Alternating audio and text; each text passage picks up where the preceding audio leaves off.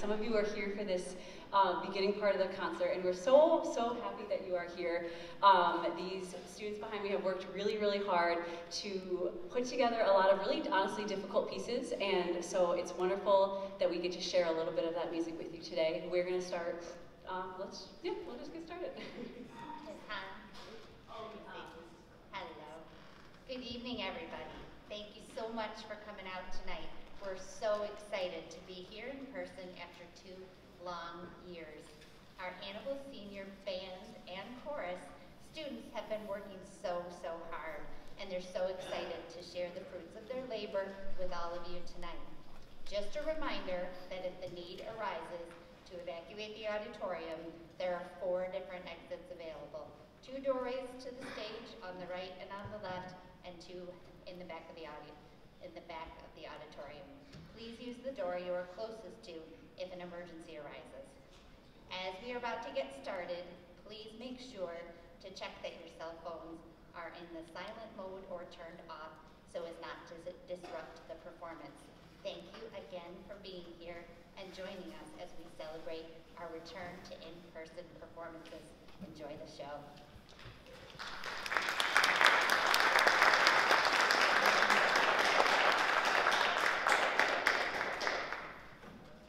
Our first piece, The Cuckoo, is a traditional American folk song. We are grateful to have Mr. Barrington with us playing the cajon. Cajon translates to box or drawer in Spanish. A cajon is a percussion instrument from Peru. When the player hits different parts of the box, you hear different drum qualities. In this piece, you'll hear that the parts layer on top of each other, making it increasingly complex as the song continues, including a difficult scat section that our students learned well. We hope you enjoy.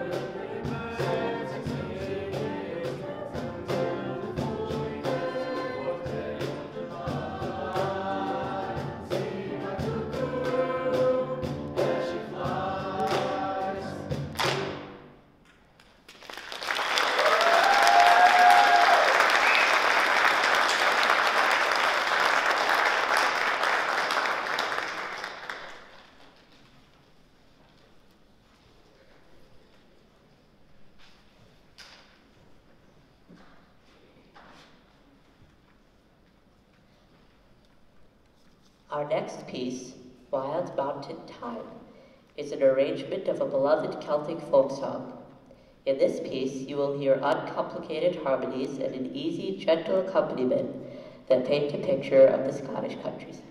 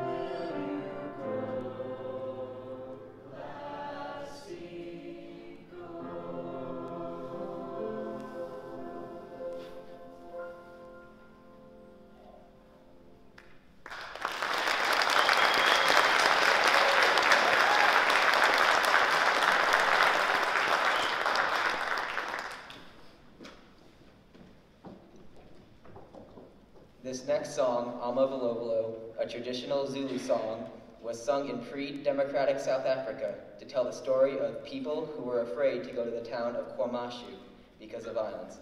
Nowadays, the song is sung in celebration at weddings and parties, and people use it to express joy at having overcome that difficult period of time.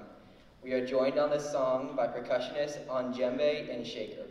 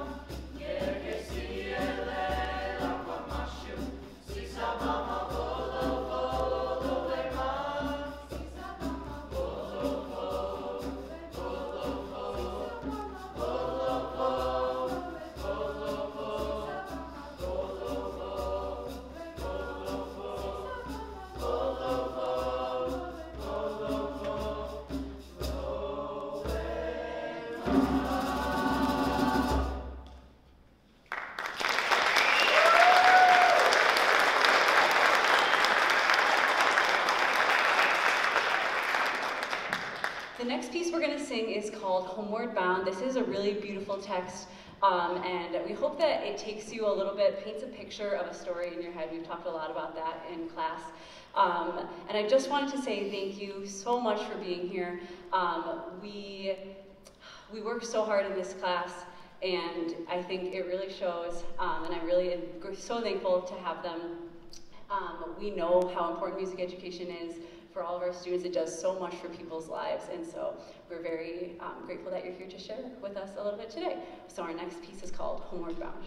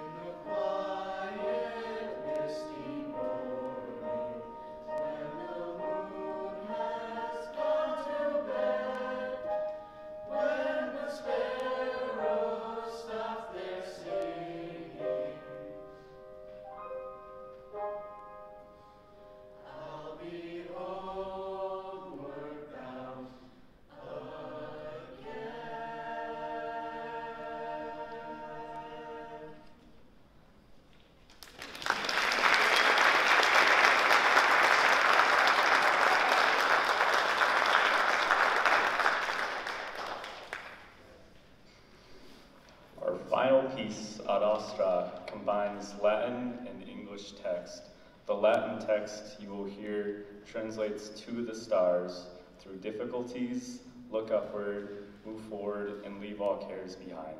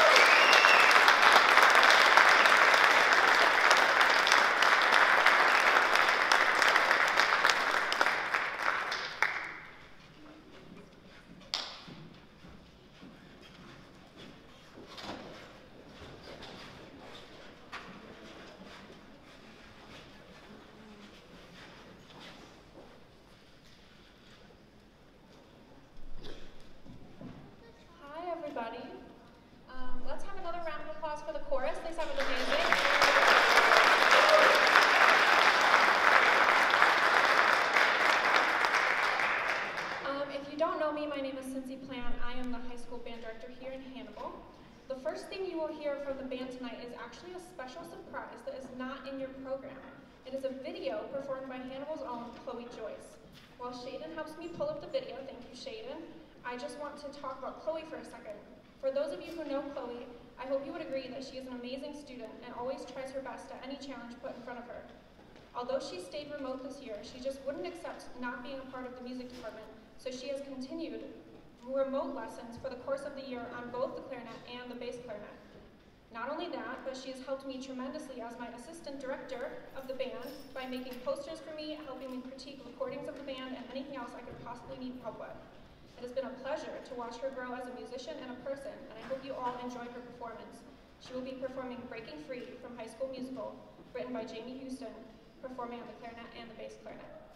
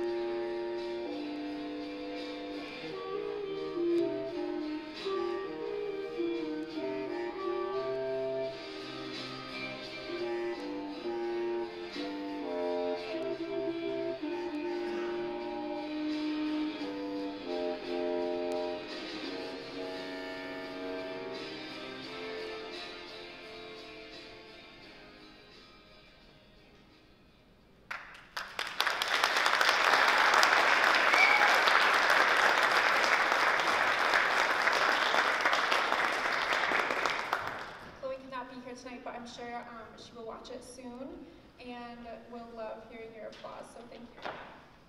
Okay, while the students are setting up for the band's first full piece, I just wanted to say a huge thank you to all of you for coming to support our student musicians today. It has been so long since we were able to gather like this, and it's just an amazing feeling to be back together celebrating the incredible talent that we have here on this stage. I'm going to open the curtain for them so that they can actually move. One second.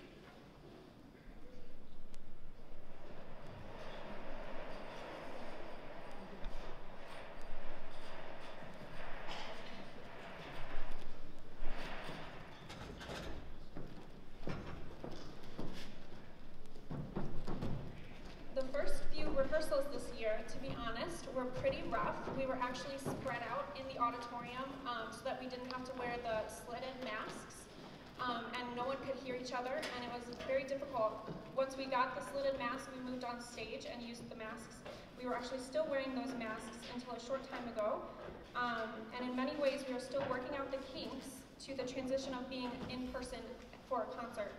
Um, despite all of these challenges, we have grown together as an ensemble and as individuals throughout the course of this year, and I am so proud of what these students have been able to accomplish in presenting this concert to you all tonight. Now, I'm going to go play the bass drum and let Zoe do her thing.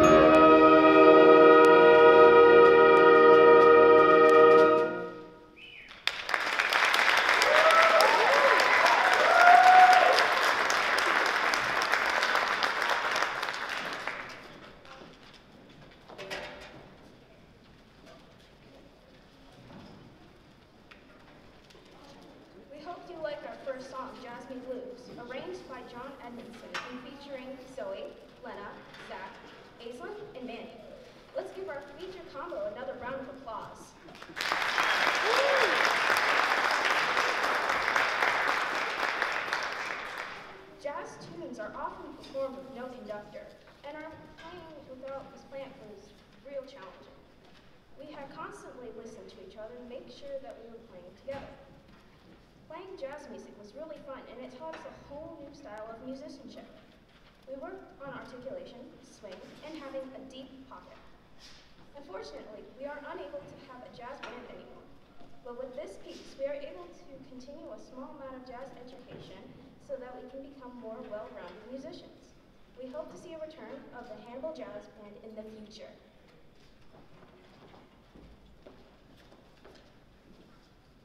Eagle Point Overture by Mike Story has been our most challenging piece of the year thus far. Coming back from COVID when we each played as individuals, it has been very difficult transitioning back to playing in the midst of a group. We have worked really hard on staying together and watching Ms. Plant so that we know what tempo to take. Our performance of this challenging piece won't be perfect, but we hope you enjoy it and can hear and acknowledge the progress we have made together as a band.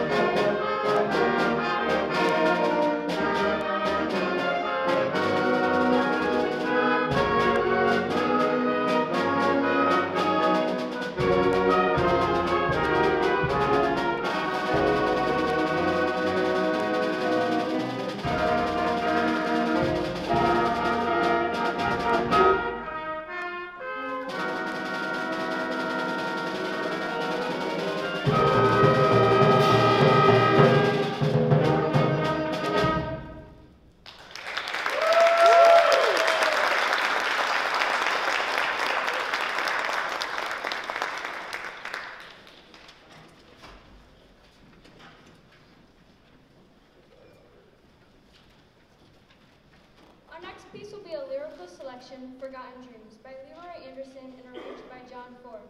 Our performance will feature junior Emily Barbeau on the flute. Although slower pieces are easier for technical standpoint, they are much harder to play perfectly together. We as a band had to relearn how to match styles and speeds with the people around us after only playing as individuals during COVID. We hope you enjoy our performance.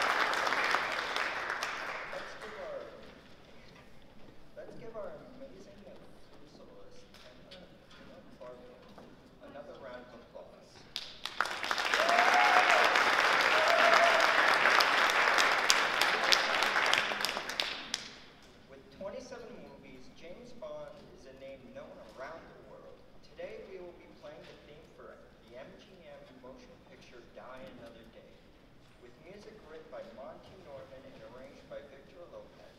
We have had a lot of fun performing this concert live and in person for the first time in over two years, and we thank you all for coming. Please enjoy our last piece and have a safe drive home.